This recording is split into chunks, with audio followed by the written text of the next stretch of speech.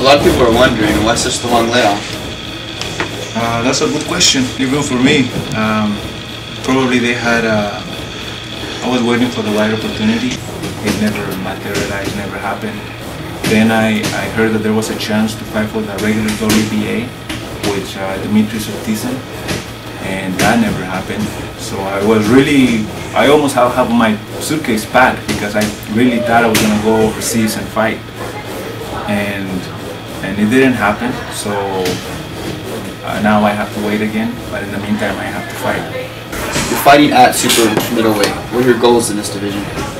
My main purpose in this is I really want to become a champion in this uh, as a super middleweight and then move up. I don't care about, I don't have ego, what they call it, to be the best or to this. I just need the title and move on. Why is the title so important to you?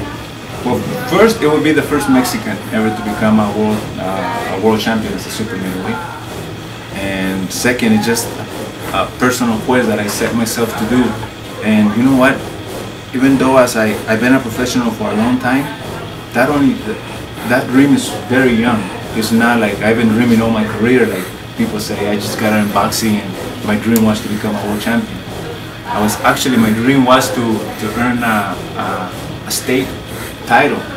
I wanted to become the California state champion so I can show whenever I was done with boxing, I can show that I got a belt, you know. But somewhere along the way, things just led to another and I kept winning. I just learned to value the hard work and it just kept happening, kept happening. On May 6th, what, what type of performance are you going to show us?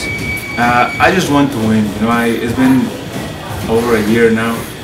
Uh, my, when I fought Eric Lucas, I just wanted to put that last behind me with uh, with. Just move on, put it behind me, and I fought Eric Lucas. Then I just wanted to fight again, put it behind me. This is the same fight, you know.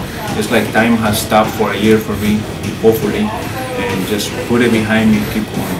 Uh, I've been practicing on my defense a little bit, but it's hard to tell because when I fight, it disappears. But so hopefully, it's just exciting for the fans, and that's all I can say.